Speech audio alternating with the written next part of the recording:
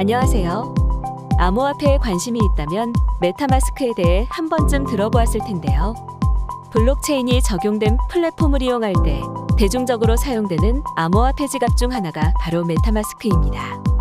유니스왑에서 swap하기, 오픈시 등의 NFT 거래소에서 작품을 거래하기 등 메타마스크는 웹 브라우저에서 이더리움 기반의 네트워크와 직접 상호작용이 가능하도록 해주는 역할을 합니다.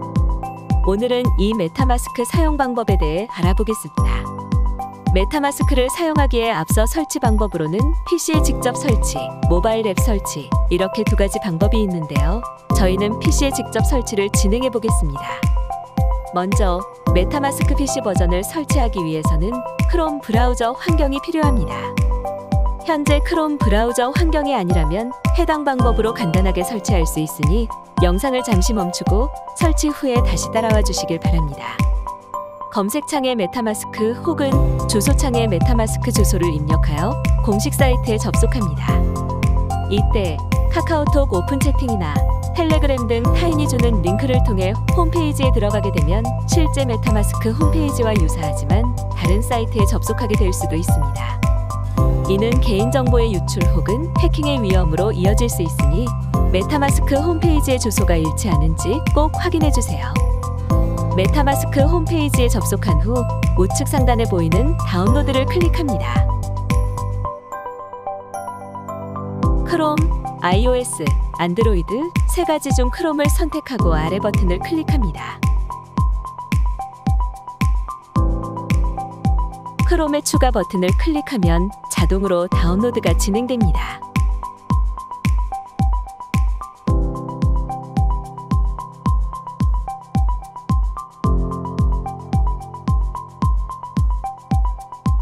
다운로드를 마치면 브라우저 우측 상단의 메타마스크 아이콘이 자동으로 생성됩니다.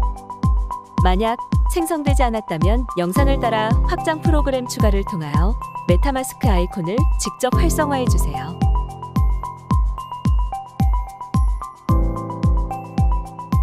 시작하기 버튼을 클릭합니다. 그러면 두 가지 선택창이 뜨게 됩니다. 지갑 생성을 클릭해 줍니다. 두 가지 중 어느 선택을 해도 가입에는 지장이 없습니다. 원하는 선택지를 클릭합니다. 로그인에 필요한 암호를 입력한 뒤 생성을 클릭합니다.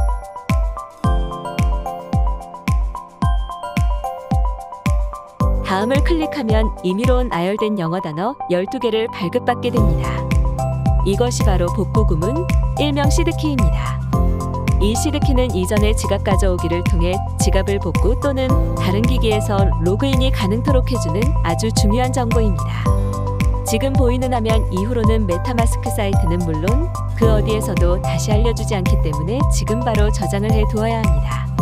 시드키만 있으면 이전 등록했던 암호 없이도 해당 지갑에 로그인이 가능합니다. 이러한 시드키가 타인에게 노출된다면 나의 자산은 더 이상 안전하지 않습니다. 시드키를 PC나 모바일에 저장할 경우 해킹이나 수리 사유로 타인에게 맡겨졌을 때 노출의 위험은 훨씬 높아집니다. 공식 홈페이지에서도 전자기기가 아닌 메모지에 적어 안전한 곳에 보관하라고 설명하고 있습니다.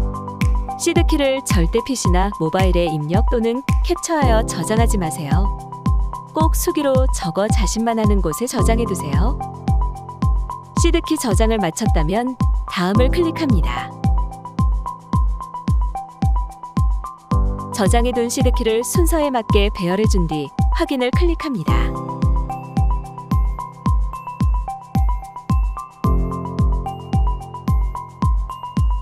마지막으로 시드키 보관법에 대해서 다시 한번 숙지하고 난 뒤 모두 완료를 클릭합니다.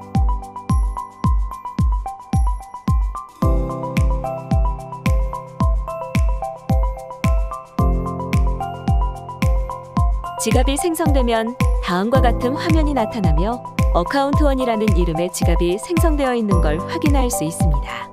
이 부분을 클릭하면 Account One의 이더리움 지갑 주소가 복사가 되는데 거래소로부터 복사된 주소로 이더리움을 송금하면 해당 지갑으로 이더리움이 입금이 됩니다.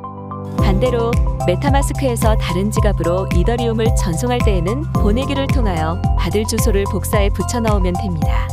주의할 점은 이더리움을 전송할 때 발생하는 가스비를 감안해서 지갑에 최소한의 이더리움은 항상 남겨놓는 것을 추천합니다. 이더리움 외에도 다양한 코인을 메타마스크 지갑에 전송할 수 있습니다. 예를 들어 체인링크라는 코인을 메타마스크에 옮긴다고 가정해 봅시다. 분명 코인은 정상적으로 전송이 되었지만 내 지갑에 해당 코인이 보이지 않아 당황하게 될 것입니다. 이유는 해당 지갑에 체인링크 지갑을 추가하지 않아서인데요. 이러한 문제를 해결하기 위한 토큰 추가법도 진행해 보겠습니다. 메타마스크 메인 화면에 import token을 클릭합니다. 검색 메뉴에서 원하는 코인의 이니셜을 작성합니다. 만약 원하는 토큰이 검색되지 않는다면 맞춤형 토큰 메뉴로 들어가줍니다. 그럼 다음과 같은 입력란이 나오는데요. 해당 입력란에 적어야 할 정보는 코인마켓캡 사이트에서 찾아볼 수 있습니다. 코인마켓캡 사이트에 접속 후 우측 상단 검색창에 원하는 코인의 이니셜 혹은 full name을 적어 검색해줍니다.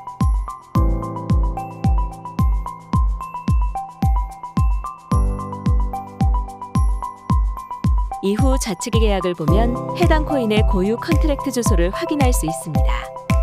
메타마스크가 브라우저에 설치되어 있는 경우 해당 아이콘을 클릭하여 간단하게 적용할 수도 있습니다. 주소를 클릭하면 복사가 되는데 복사한 후 다시 메타마스크 화면으로 돌아와서 토큰 계약 주소에 붙여 넣어줍니다. 그러면 토큰 기호와 토큰 십진수는 자동으로 입력이 되며 아래의 버튼을 클릭하면 다음과 같이 토큰이 추가되는 것을 확인할 수 있습니다. 메타마스크는 기본적으로 이더리움 mainnet으로 세팅되어 있는데 우측 상단을 통해 다양한 mainnet 활용이 가능합니다. 한 가지 예로 바이낸스 스마트 체인 mainnet을 추가해 보겠습니다. 우측 상단 mainnet 클릭 후 네트워크 추가를 클릭합니다. 총 5가지로 이루어진 입력란에 바이낸스 스마트 체인 네트워크 정보를 입력한 뒤 저장을 클릭합니다. 그럼 또 하나의 mainnet이 생성되는 것을 볼 수 있습니다.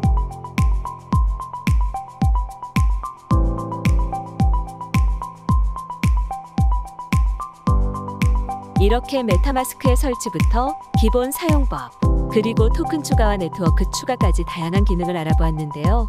메타마스크를 사용하는데 영상이 도움이 되었길 바라며 더 궁금하신 내용이 있다면 댓글로 남겨주세요. 영상 시청해주셔서 감사합니다.